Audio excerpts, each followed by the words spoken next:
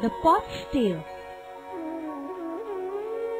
A poor woman had a copper pot and an earthen pot in her kitchen. The copper pot was proud of its shine and strength and always looked down on the earthen pot. Once there was a flood in the village. The flood water entered the poor woman's house. All the house articles were swept away in the flood. By chance, the two pots floated out together. When the copper pot saw the earthen pot being swept away, he said, Why are you there? Come near me. You are made of mud and will not be saved. If you will be near me, you will be safe and protected.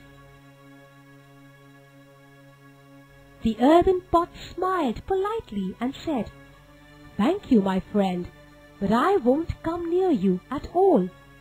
As you said, I am made of mud, so I am weak and delicate. If I'll be near to you and the wave hits you, then we'll crash into each other and I'll break into many bits. I'd rather be alone and safe. Please don't come near me. Moral. Overpowerful people often spell trouble.